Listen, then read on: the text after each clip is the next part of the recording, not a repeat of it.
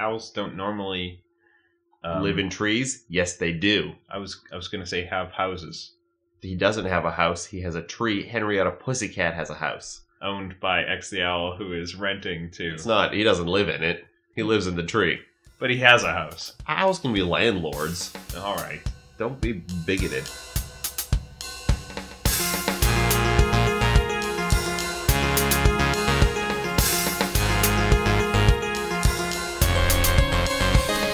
It's a beautiful day in the neighborhood, a beautiful day for a neighbor. Would you be mine? Could you be mine?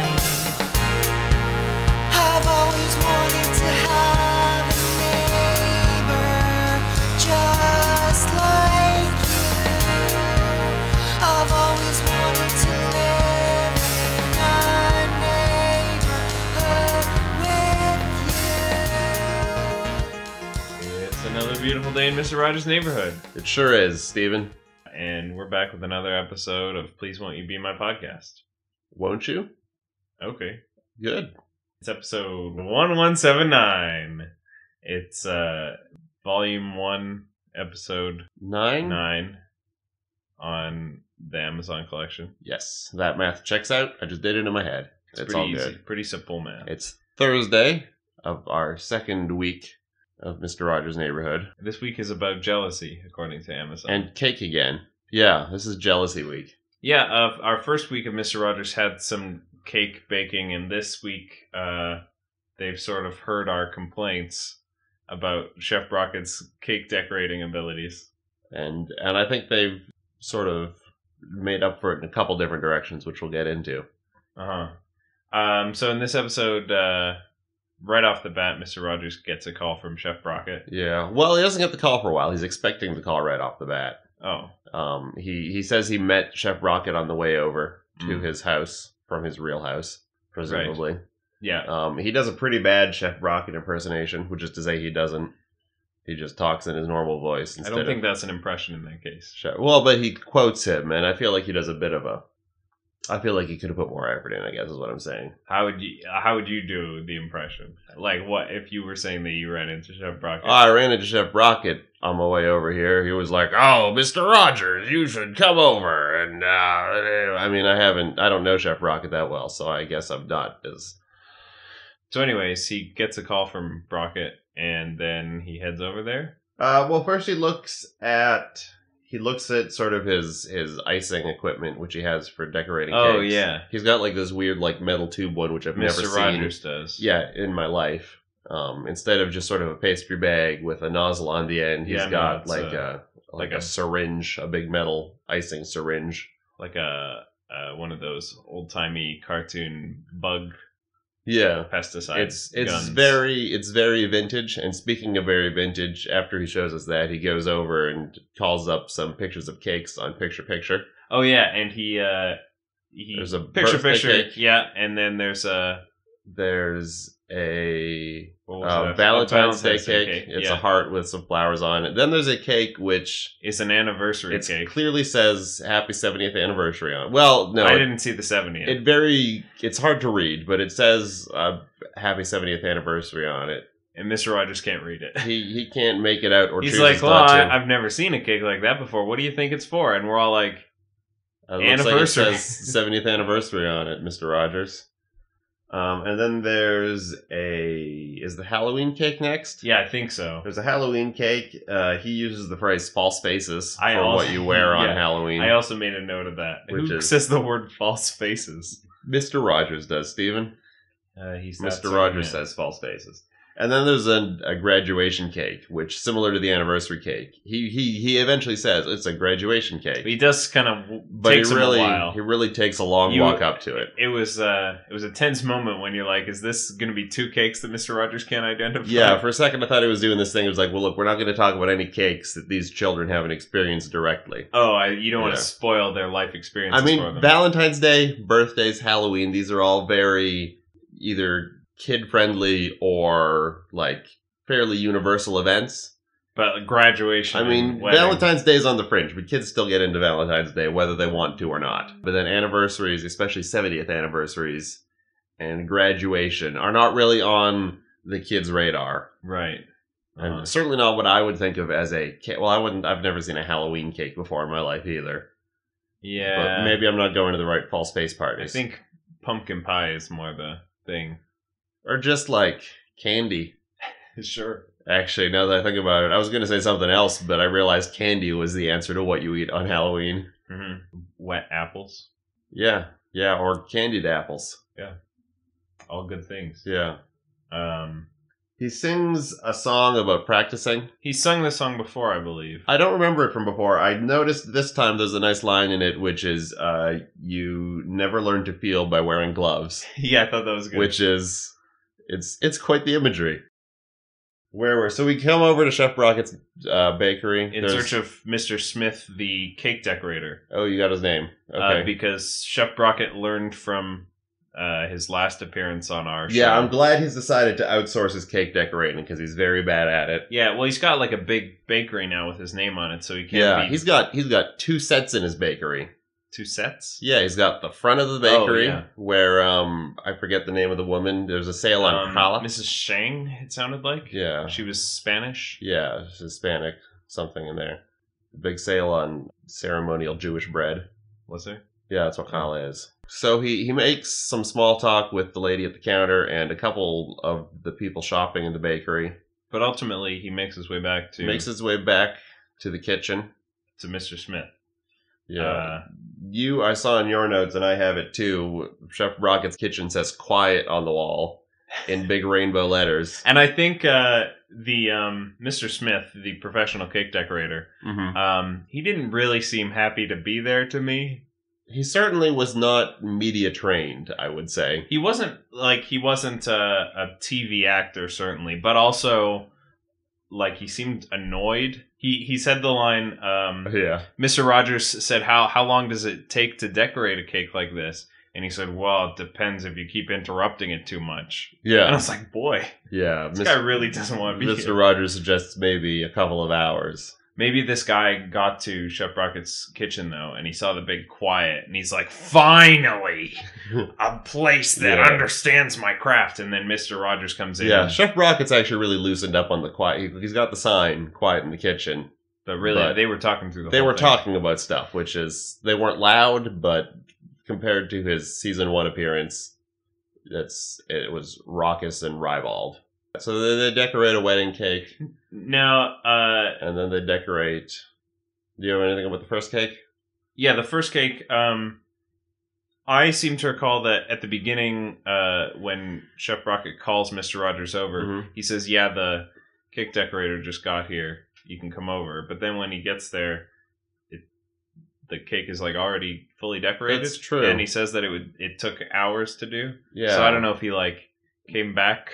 Or brought the cake with him. I don't know. Yeah, that's true. That's some continuity issue. There is more error. cake continuity. And so they finish off the wedding cake. yeah, Mr. Rogers uh, really enjoys the 27. Like, uh, yeah, he's excited by the idea that there's such a big it's like if icing uh, hose tube. it's like uh, on Tool Time when Tim Taylor Mm. has a guest on the show and he's like, "Oh yeah, I really want to see you use that big, heavy power tool." And Mr. Rogers is like, "Oh please, Mister, please, Mister Smith, won't you use the number 27 star ribbon mm. icing?" icing nozzle. yeah. More Uh, icing. Ah, so he ah, ah, convinces Mr. Smith to use the 27 and he adds these Yeah. big poofy yeah. icing things. This is to the face. second cake, which is a color I described as egg salad sandwich yellow. yeah, it wasn't a very pretty cake. It's not. It's I mean, certainly a step up from what Chef Brockett it can accomplish Yeah. with his it's abilities. Certainly a '70s cake. Yeah. Yeah, and maybe the fact it's the '70s. Maybe it is egg salad sandwich icing, Egg salad sandwich flavored. flavored icing. Yes. Uh, so then they put a topper on this yellow cake. Yeah, Mr. Smith and has this wouldn't you know topper, it? It's an Eiffel Tower. But it's not just an Eiffel Tower, it's the Eiffel Tower from Mr. Rogers' neighborhood. Yeah, which it's it's in because Mr. Smith says it reminds him of his teacher that he had, who who was French. Um, I don't know why it would because it doesn't really look like the real Eiffel Tower. No, which it looks like Mr. Rogers' imaginary Eiffel Tower. so Mr. Smith got I don't know where he got this decoration. I have a suspicion he might have got it off of Mr. Rogers' shelf.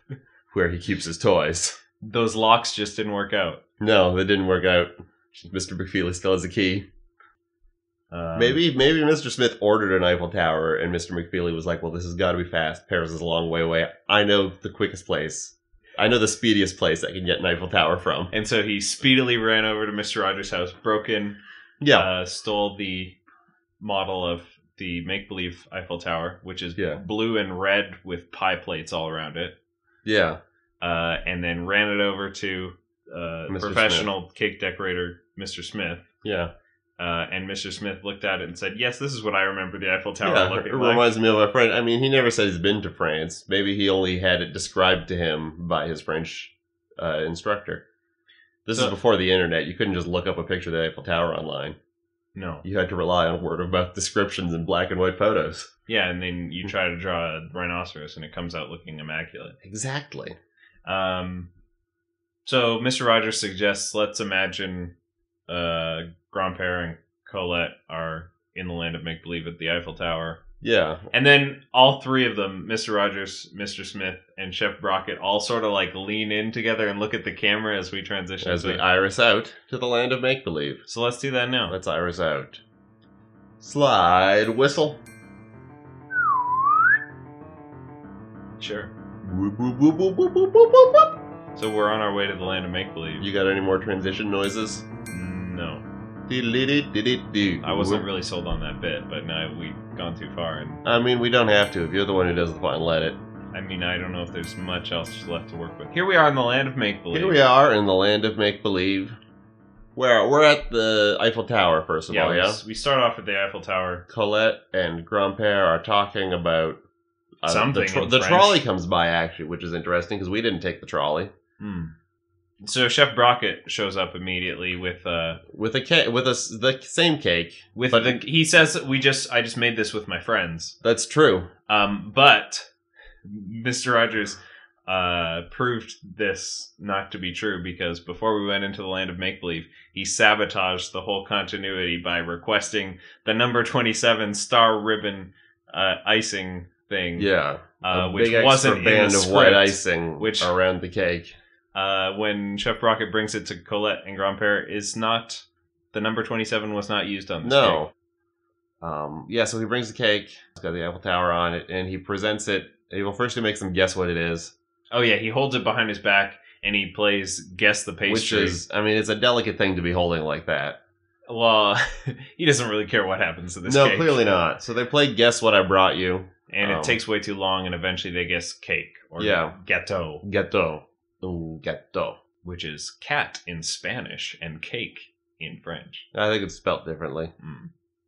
I don't know how it's spelt in Spanish, but uh, in Anyways. French it's spelt all French. Chef Brockett is eager to get out of the scene, and so he sets the uh, cake down in the most precarious position. Yeah, he sort of possible. puts it on the corner of the Eiffel Tower. He puts it like resting half on the pie plates, so it's But like it's- teetering. It's very unstable, clearly from the jump. Um, Grandpere's worried about it, but Chef Brockett says, "Nah, as long as just don't bump it, it'll be fine." yeah, which that's true of anything that's precarious. He- now, here's a confusing thing: is um, seeing the Eiffel Tower on top of the cake. Um, Colette uh, says that the cake reminds her of home. Which it really shouldn't. It really no, because it doesn't look like the Eiffel Tower from France where she is from. It looks like the Eiffel Tower she is currently staying in. Yeah, it, this reminds me of the place I'm visiting now. Yeah, this reminds me of my grandfather's home, where I am at present. This reminds me not of my Eiffel Tower, but yours. Yeah. So they decide they're just going to leave the cake there on the corner. Although Grandpere says, It worries me to leave it there. Yeah, I I have in my notes a cake disaster in the making. It- Um, so but they head down inside the Eiffel Tower to set the table. mhm. I don't know why they don't take the cake with them. Imagine holding that cake. That would be like holding it with your thumb and pinky Well, true, and carrying the true enough. And I, tiny I, I don't think it would fit down there with anyways. almost exactly the dexterity of your Yeah. thumb and pinky. But then again, we'll get to this. So then we cut across town to the Platypus Mound, where Robert Troll is. Smelling the plasma Yeah, he's sort of wandering around and pretending to greet people, but not. because there's nobody there, Yeah, like he he mimes to ring uh, Lady Elaine Fairchilde's bell but doesn't. just to enjoy his hilarious uh, ringing the bell bit. Yeah, he's reliving that hilarious. That hilarious bit. Uh, then he heads over to the treehouse. He knocks on X the Owl's door a couple times. X the owl says, "I'm sorry, Robert Troll. I'm having a shower. I can't be with you right now. I suggest you go over to the castle because Henrietta Pussycat is watching the waterfall." Um, but Henrietta is not exactly looking at the waterfall. Robert Troll gets over there, and it seems like what she's actually doing is trying to cast a spell Cast a spell on the cake across across the way uh, to, make, it fall. That waterfall's still there. I don't know why. It's no good. No, it must have been like the thing last week, and they're like, we're gonna have a bit of continuity. The plumber can't come until next week to take it down. or something because it's not a good. Yeah, so she's trying to cast a spell to make the cake fall over. She says, "Meow, wish meow would fall. Meow, wish meow would fall. Yeah. Meow, wish meow would fall." There was a bit here because of the way she removes all the important words from sentences that I thought maybe she was worried she would fall, oh, which is dark. Um, I mean, this is dark anyway. I feel like she has taken a step up from like being paranoid that she's being replaced to being outwardly malicious. yeah, Yeah, hoping disaster upon. she's she's delved straight into the black magic. Um, Robert Troll's also confused because he says, "No, the water's already falling." That's a fun bit. uh, and so he he figures out that she's trying to make the cake fall, and then he says, "Oh, you're you're wishing that the cake would fall," and then he like puts his fingers to his forehead and starts like going, "Hmm," and then there's like a whooshing wind sound. I missed that. it was I backed up and watched it again because like it seems it seems a lot like after finding out that Henrietta wanted to wish this cake would fall, Robert Troll uses some kind of troll powers, and there's no way that I would prove this in a court of law, but it was I definitely mean, that, seemed that true. because I my theory was, oh, Henrietta has unlocked magical powers. Mhm. Um, Robert Troll assures her that, well, you can't make something happen just by thinking about it. Well, But this is the land of make believe. Robert Troll Clearly says you can. Robert Troll says you can't make something happen just by thinking about it, which I would say he's saying you can't do that. No, but I can. but I can because later he troll. says later he says Henrietta we're in trouble. That's also yeah, he does. he like tries to bring her into this. So the wind the wind blows, the cake falls over. which I believe was Robert Troll's doing. So they go over to take a closer look at the damage. Yeah, the cake is all over the place. It, it fell over real good. Uh, it sort of harkens Um, back to the uh, portrait disaster. Yeah, this is lots of stuff falling off of the Eiffel Tower. I'm gonna say they had some filler, and this this is like how Star Wars was originally going to be one big movie, Uh-huh. And and in sort of the process of writing it, and was like, well, you got to cut it down, you got to cut it down, and so finally George Lucas was like, well, all right, we'll take the Death Star, we'll put it in the first part, we'll well that'll be the short movie, and then they're like, well, now we can do these other two movies, but then George Lucas gets to his climax of the third movie, and is like, well, I already used the climax, let's build a second Death Star. Mm. So the cake is the second portrait, is what I'm saying. You're here. saying the cake is the second Death Star. Yeah. And the picture is the first Death Star. Gotcha. Yeah. And to be fair, they did, they up the stakes because she doesn't just knock it over. Uh, she tricks Robert Troll into using his mental powers Mm-hmm. to blow it over Yeah. and apparently cause damage all over the neighborhood. Yeah, because uh, Lady Elaine pops out Lady Elaine Fairchilde pops up. and she says, "Oh, I'm here. I'm setting things right." Yeah. Uh, but big wind came and blew everything over, so I'm fixing it with my roomerang, toomerang, sumerang. I think Boomerang's in there somewhere. Oh, I right. Yeah. As a child, I had a roomerang. Because that's what it is. It's a which is an boomerang. indoor boomerang. Yeah, but she doesn't have a boomerang. She has a boomerang, which is an outdoor boomerang with Yeah. magical powers to, I think, primarily make things go backwards. Yeah. Reverse film footage. Yeah, which she does here. Yeah, they can't reverse with their normal cameras, Yeah. It's uh, and they can't light well for their reversing cameras. Lady Elaine Fairchilde uh, uses her magic spell to wind back time Yeah, to fix the cake. it's a pretty alright effect, but it's badly shot. Yeah, for some reason the rewound footage is like from a really bad camcorder. I think, like, I don't know what the 70s was at in terms of maybe not all cameras could rewind. But anyways, the cake explodes back together and bounces up onto the ledge. Um, Henrietta and Robert Troll, despite having done this with malice aforethought, are Mhm. very glad because they regretted it immediately. Yeah. Lady Elaine Fairchilde has my favorite line. Think something of it. Yeah, Instead of thinking. yeah, yeah. They're thanking her. She says, "Oh, think think something of it." Uh, she says, "Let's go get some grub," and so they all go off to uh, the. The museum go around, I guess, for grub. And so then we're back, not in Mister Rogers' house, but in the bakery again. I mean, we have to travel back. to Oh, the I'm sorry. Yes.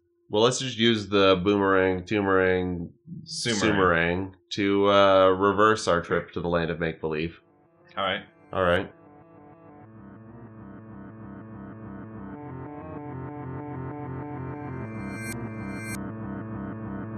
Hello, meow. Oh no! Hello, Meow, meow. Henrietta Pussycat. Meow, meow, doing here, meow. I don't know what are you doing here. N- meow, meow, meow, meow, doing here, meow. Oh, I'm. Oh. We tried to dabble in the boomerang arts, and Steven disappeared, and now it's just you and me here. Meow, meow, meow. So where did Steven go? Where were you before just now? Meow, meow, make believe, meow. Okay. Ste- I don't think Steven's make believe. Meow, meow, meow, meow, and make believe. Oh, you were in the land of make believe. Well, Meow, that makes sense because that's meow, the only left. places you let. How did you leave? Meow, meow, follow, meow. Uh, well, it's weird that you wanted to leave since you were earlier concerned that they would send you away. Meow, meow, decided meow would meow some meow where meow only cat meow. Oh, you wanted to come somewhere where you were the only cat. Meow, meow, meow. Um, about that. First of all, did you try to use magical powers to knock over Colette's cake? Meow tell you. Meow. See, that's what I thought. So meow can stay here, meow?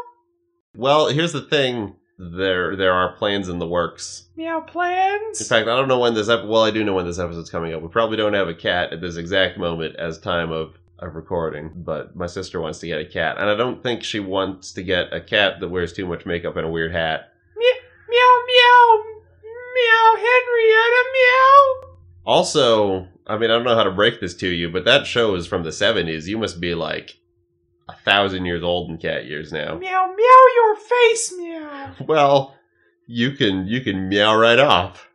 Meow, meow, meow. Meow crying, meow, meow. Boy, well there goes our there goes our clean tag. I'm sorry I had to hear that, audience. Whoa. What happened? I just cussed out Henrietta Pussycat. you what? Yeah, I don't know what came over me. She just she gets on my nerves, I guess. Oh boy, Andrew. I was Yeah. just feeding the fish and come back here and you're verbally abusing characters from the Well, show. okay, but you need to understand she wanted to move in. I mean, I'm trying to She make wanted to move in with us. um Andrew, I'm trying to make this a good podcast Mm-hmm. about Mr. Rogers. Right. And so if a character from Mr. Rogers Yeah. comes on the show, Right. that's a good opportunity to make this a good Mr. Rogers podcast. Um, I'm just bad at people. You know that. Right, but I just I need you like I didn't need I I've been trying to book people from Oh, I show. see. You should. I should have. I should. I didn't think about that. Yeah, we. I didn't know this was a guest podcast. I didn't think it was our format. Well, I it, it is it hasn't been, but I mean so we've made it safely back to the real world though. We've made. Yeah, we're in Chef Brockett's kitchen. Um, basically, Mr. Rogers leaves. He gets a gingerbread cake from Chef Brockett. Now, to hold on. practice. Oh, I'm sorry. Cuz we got a problem here. Uh oh. Uh Chef Brockett Yep. took the cake Oh yes, he took the cake. to the land of make believe. Mhm. Then when we finished make believing, the cake was still there. Well, it's a different cake though. You said yourself. Hmm? There's extra icing on this cake. Right, but I thought that that was transformed by make believe etude. Maybe it's not like a morphing change. It's like a duplication, different change. So if I take a cake to the land of make believe and I bring it back, I can have my cake and eat it too. Yeah. I have a money making scheme that involves cake and traveling to the You're land gonna of make believe. you're gonna embezzle cakes to the land of make believe. I'm gonna have infinite cakes. I mean, yeah, you could probably there's probably other ways to get a Infinite multitude of cakes with the land of make believe. Yes. Oh, you think I could just imagine infinite cakes? Yeah, probably. I don't know if that, I'm that powerful. Cakes might come from space. I mean, maybe you could sweet talk Lady Elaine Fairchilde into doing it. Question is, can you take a cake out of the land of make believe? I don't think we've ever seen anything come out of the land of make believe. Well, there was that time that Mr. Rogers gave Lady Aberlin a burlap cape, Mhm. which she took to the land of make believe, and then left there, and then Mr. McFeely brought it back. You're right. You're. I think it's So I mean, it started in the real world, went to the land of make believe, and then came back. But it So came did back the with a cake. different person. so did the cake. So Uh, before leaving the bakery, uh, Mr. Rogers is given a special gift or maybe a special loan from Chef Brockett. It's the number 27 Yeah. star shaped ribbon. I don't know what the last word of this I mean, well, and also Nozzle. it's not a star-shaped nozzle. number Um, 27. And Chef Brockett doesn't even say that it's a number twenty-seven. He says it's it's almost the number twenty-seven, which Mister Rogers quickly accelerates to. Oh yeah, just like your number twenty-seven. So Mhm. he's he's excited. I He's think completely, later- he's completely done with with calligraphy now. He's all about cake decorating. Oh yeah, and he he's definitely he starts calling this thing the number twenty seven. He's so I happy mean, he's, he's going to use it. Thrilled. so Um, we go back home to Mister Rogers' uh, house. He takes a stab at decorating the cake, and this is the second time where Chef Brockett is vindicated because boy, no longer the title holder for worst cake on uh, this I, show. I don't know about that. I mean, the cake itself seems fine, but the decoration on it is just abysmal. Well, I mean, it lacks artistry. Um, it lacks artistry, but on the other hand, it lacks technique as well. right, but I think you're forgetting how bad Chef Brockett's cake was when he took the back of a measuring spoon and just like dragged it like a trowel through his icing. But I mean, at least he was spelling like thirteen. I think he was. No, though. he he wrote thirteen on the top of that cake. Mister Rogers is just like, let's maybe make a frame. Mister Rogers is nuts about frames. He loves frames. He He loves make them out of paper, make them out of icing He's got picture picture, which is a frame in a frame. that's framed. yeah, he's uh He's he's frame happy. he's a frame fanatic. It's a wonder he doesn't wear glasses he doesn't need. As he's making this cake, Mister Rogers recapping the make believe segment, Yeah. uh, and he says, uh, "Wishing something can't make things come true." Which is patently false Uh, because we saw, because the land of make believe exists. yeah, that's true. How did the land of make believe come into existence if not by a wish of Mister Rogers? Yeah, exactly. Like in, in the land of make believe, if anywhere, wishes will come true. hmm I mean, we saw that they do. Yeah, well, that's true. That's true. Henrietta wished that the cake would fall, and then it just so happens that a troll with that very psychic ability Yeah. comes along, makes it fall. And then and then They wish Lady that Elaine they hadn't Fairchilde, done it, and then the magical fixer comes along. magical fixer comes along and undoes it just like they wish. Yeah, and Lady Elaine Fairchilde just does whatever she wants all the time. hmm She moved Grandpa's whole house one time. Yep. Just for kicks. But now she's using her abilities For good. for for setting things right. As an example of things that you wish not coming true, Mr. Rogers sings what I believe is the best song he's ever sung. It's it is not unlike a Shel Silverstein poem. It really stares unblinkingly into the weird darkness of childhood. Yeah, uh, Mr. Rogers sings a song about something he wished as a child, which Mr. Rogers wished that a lion would come, A giant lion. a giant lion would uh, arrive and eat his house and street, yeah. uh, and then also stomp, the whole neighborhood. stomp on everything. Yeah, because he was mad at the whole world. A very angsty um, Master Rogers, Yeah, right. Young Rogers. young Master Rogers. Young Master Rogers. uh, very angsty about his uh, parents um, being killed outside of Zorro. That's yeah. In Crime Alley. Yeah, uh, so he wishes that a lion would come and straighten out the, and so he became Lion Yeah. Man. Yes, father. I shall become a lion. But instead, he he just built bought a fake house and started talking to kids at it. because wishes can't make things come true. No, Only a lot of money would make something come true, and Mister Rogers Mister, that was the day. did not have he billionaire parents. Wanted the lion to come and eat his neighborhood because he was so mad at the world. Uh huh. That didn't happen, but he dedicated his life to making wishes come true.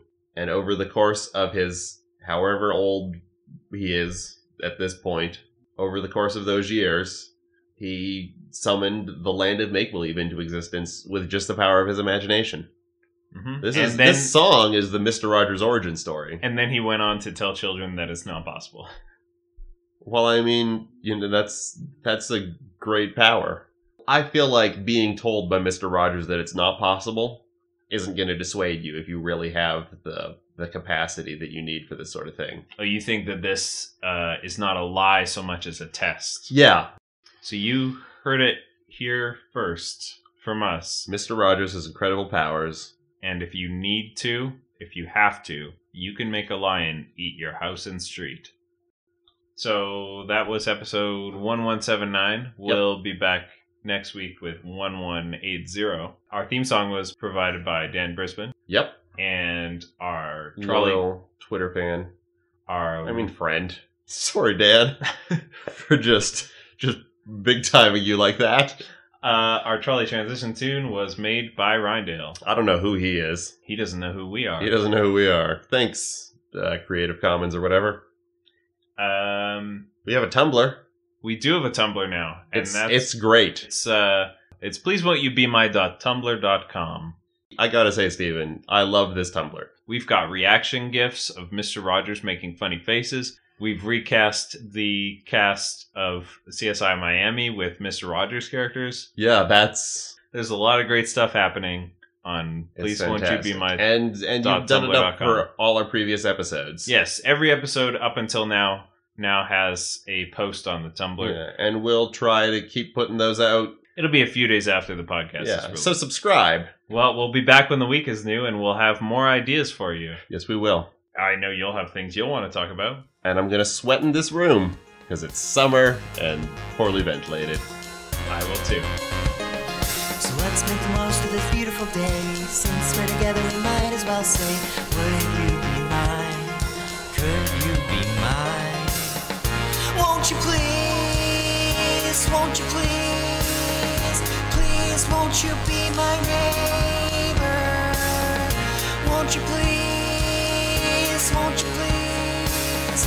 Please, won't you be my podcast?